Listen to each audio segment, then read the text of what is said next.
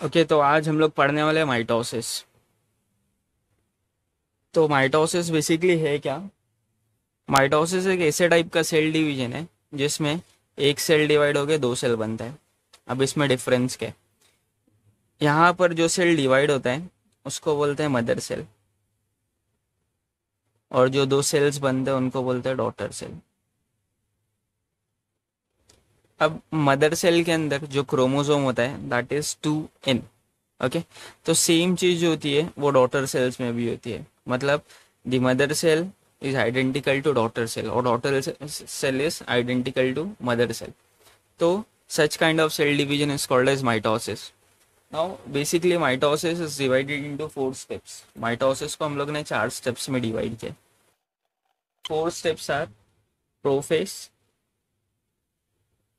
दूसरा है मेटाफेस तीसरा है एनाफेस और जो चौथा है वो टीलोफेस है। अब हर एक फेस को हम लोग डिटेल में देखेंगे। तो जो सबसे पहला फेस है that is called as prophase तो जो पहला फ़ेज़ है माइटोसिस का, उसको हम लोग बोलते हैं प्रोफेस ना ये जो प्रोफेस है, उसको दो पार्ट्स में डिवाइड किया है।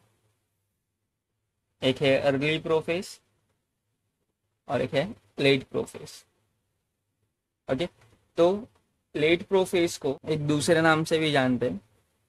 प्रोमेटाफेस अब दोनों में डिफरेंस क्या है वो देख लेते हैं. तो सबसे पहले अगर हम लोग एक सेल इमेजिन करें, जो जो मेटाफेस स्टार्ट होने से पहले था so that was in G two phase तो जी टू फेस के बाद आता है प्रो फेस प्रो फेस में सबसे पहले आता है अर्ली फेस तो मतलब जी टू के बाद डायरेक्ट अर्ली प्रोफेज आते हैं। तो जी टू फ़ेज़ में हम लोग ने सेल देखा था, जो कुछ ऐसा दिखता था। ओके तो ये सेल है।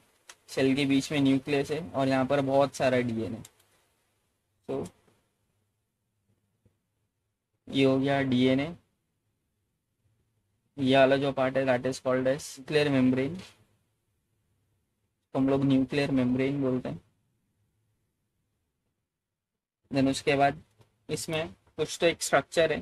This green dot like structure which is called as the nucleolus okay then यहाँ पर हमें कुछ स्ट्रक्चर दिखेगा, जो कुछ ऐसा दिखता है। इसको हम लोग बोलते हैं centrosome so that structure is called as centrosome. This shows the condition of cell in g2 phase. अब अर्ली प्रोफेज में क्या क्या चेंजेस आते हैं वो देखते हैं। तो जो सेल की मेम्ब्रेन है, वो एज इट इज़ है सेल मेम्ब्रेन में कोई भी चेंजेस नहीं है ओके न्यूक्लियर मेम्ब्रेन भी एज इट इज़ है ओके अब चेंजेस आए किधर है?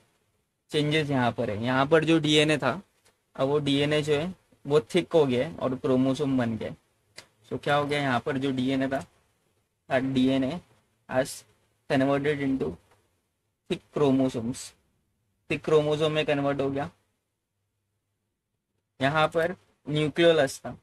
अब ये न्यूक्लियोलस जो है वो डिसअपियर हो रहा है। So that nucleolus is getting disappear okay so that will get disappear गायब होने लग जाएगा। Okay okay?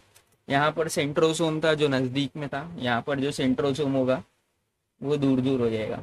और उसके बीच में एक थ्रेड लाइक स्ट्रक्चर बनने लग जाएगा।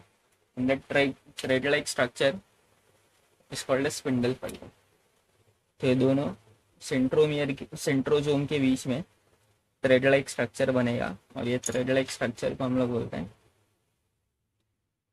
स्पिंडल तो अर्ली प्रोफेज में क्या क्या चेंजेस होते हैं? Nucleolus disappear nucleolus disappear then उसके बाद क्रोमोसोम कंडेंस हो जाता है। क्रोमोसोम कंडेंसेस एंड देन उसके बाद जो स्पिंडल होता है, वो फॉर्म हो जाता है।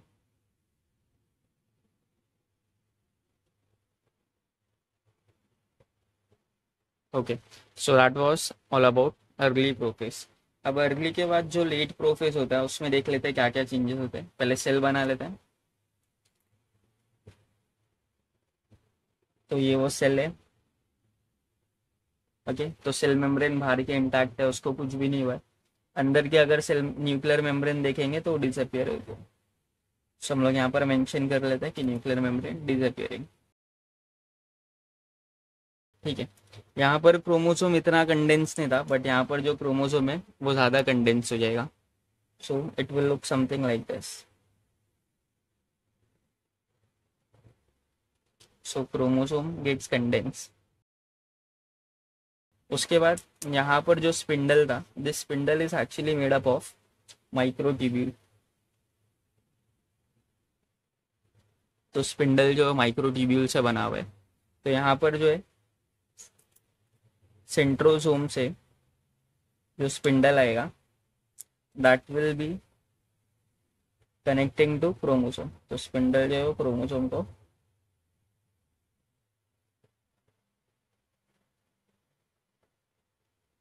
ओके तो स्पिंडल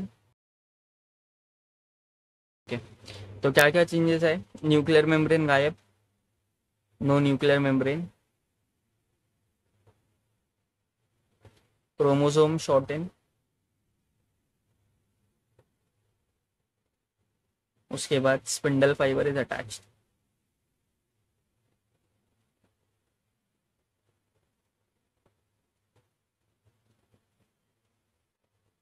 अभी, अगर इसमें से एक हिस्सा हम लोग जूम करके देखे ऐसे यहाँ पर। ओके सो ये हमारा क्रोमोजोम है।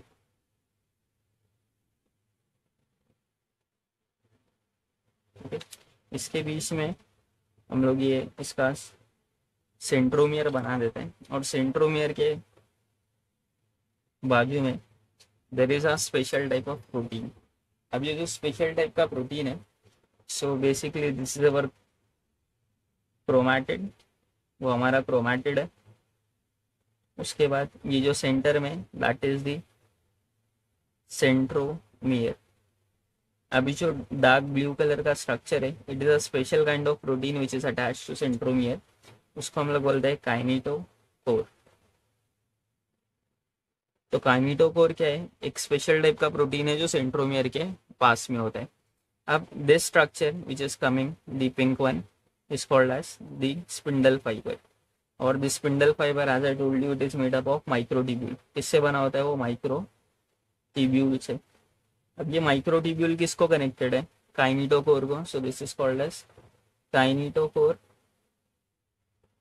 microtubule okay तो जो सेकेंड फ़ेज़ है that is called as metaphase अब मेटाफेज में क्या क्या चेंजेस होते हैं, वो हम लोग देख लेते हैं। सबसे पहले हम लोग ने जो बनाया है, वो है सेल मेम्ब्रेन सेल मेम्ब्रेन के बाद यहाँ पर ऊपर हमारा जो सेंट्रोसोम था, वो एज इट इज़ है। ओके जो हमारे क्रोमोसोम थे, अब वो सेंटर में आ गए, ऐसे। So they have come in the centre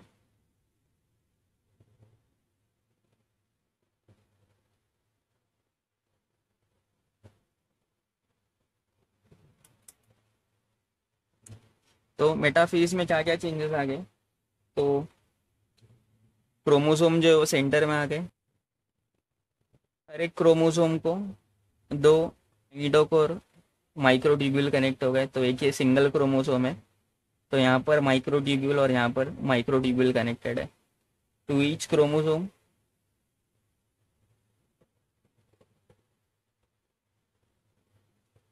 two microtubules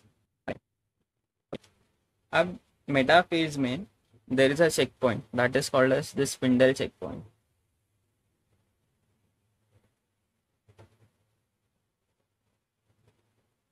अब ये स्पिंडल चेक पॉइंट बेसिकली होता क्या है?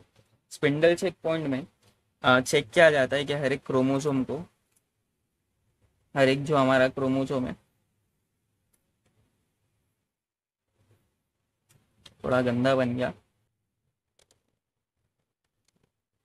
ओके तो अगर आप यहाँ पर देखोगे तो ये हमारा माइक्रोट्यूब्यूल तो एक यहाँ पर माइक्रोट्यूब्यूल है और एक यहाँ पर माइक्रोट्यूब्यूल है. स्पिंडल चेक पॉइंट में क्या होता है? जितने भी क्रोमोसोम है, उसमें चेक होता है कि माइक्रोट्यूब्यूल बराबर से कनेक्टेड है या नहीं क्रोमोसोम को. बिकॉज़ अगर बराबर से कनेक्ट नहीं होगा तो फिर वो खींच नहीं पाएगा क्रोमोसोम को अपनी तरफ़ और क्रोमोसोम का सेपरेशन नहीं होगा. तो वो चेक होता है, अगर प्रॉपर है तो आगे का स्टेप कंटिन्यू होता है एनाफेज और अगर प्रॉपर नहीं है तो सेल डिवीज़न वहीं पर रुक जाता है। Okay so that is the function of spindle check point I will move to the next part that is the anaphase तो एनाफेज के लिए सबसे पहले हम लोग सेल बना लेते हैं। Okay okay. हमारा सेंट्रोजोम वहीं पर है, जहाँ पर था। Okay okay. बस डिफरेंस ये हो गया है कि अब जो हमारा क्रोमोसोम है वो सेपरेट हो गया।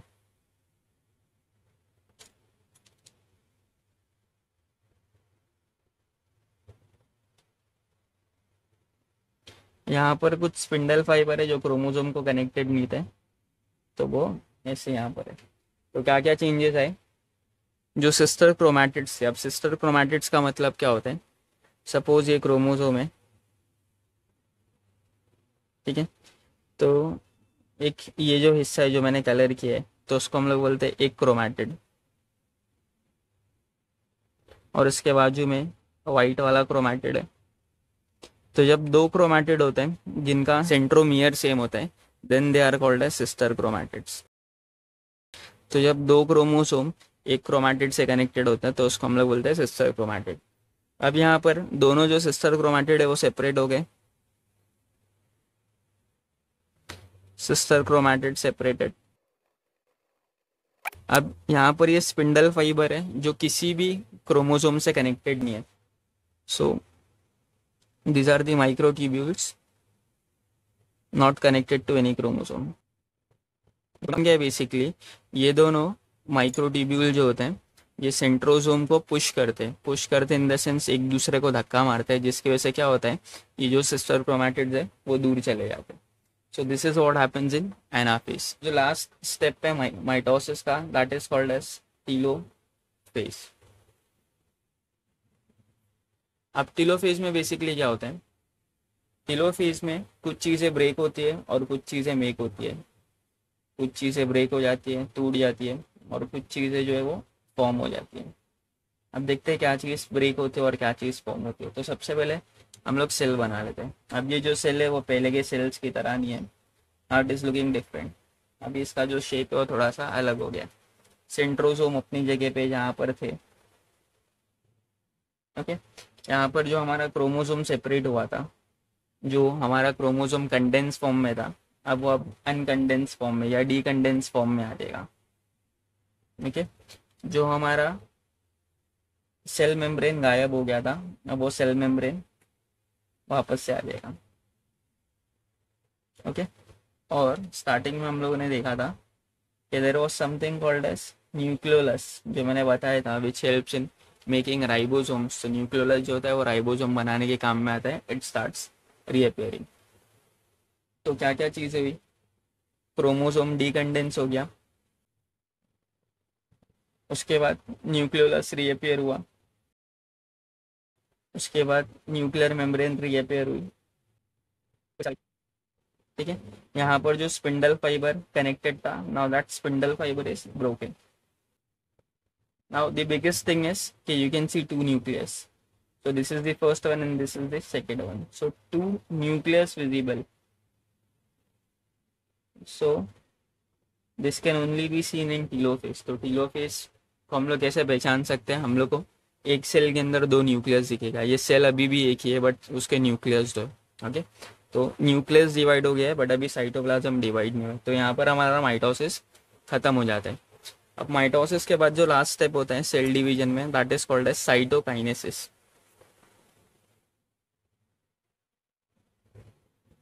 अब बेसिकली साइटोकाइनेसिस होता क्या है? डिवीज़न ऑफ़ साइटोप्लाज्म क्योंकि एक सेल को हम लोग दो सेल तब तक नहीं बोल सकते, जब तक उनका साइटोप्लाज्म अलग अलग ना हो। भले से इनके पास दो अलग अलग न्यूक्लियस हो but the cytoplasm is same तो अभी साइटोप्लाज्म अलग करना है। तो साइटोप्लाज्म अलग करने में क्या होता है? इसे दो सेल्स है। एक ये वाला सेल है और एक ये वाला सेल है। तो ये जस्ट उसके बाद वाला स्टेप है। तो यहाँ पर सारी चीज़ें सेम ही होंगी ऑलमोस्ट ये हमारा centrosome condense DNA nuclear membrane है अपना, वापस से सेम जगह पे। न्यूक्लियोलस भी है, ठीक है? But there will be an extra thing over here यहाँ पर एक एक्स्ट्रा चीज़ मिलेगी। So this extra thing is called as जो ब्राउन कलर की चीज़ है, उसको हम लोग बोलते हैं एक्टिन रिंग ओके? और यहाँ पर एक्टिन रिंग की वजह से जो स्पेस बना है ये जो यहाँ पर स्पेस बना है this space is called as cleavage furrow so जो क्लीवेज फरो है, वो और डीप होता जाता है अल्टीमेटली हम लोग को दो सेल मिलते हैं. okay so, that was all about mitosis and cytokinesis. If you have any doubt, you can ask me in the comment section. Thank you. See you in the next video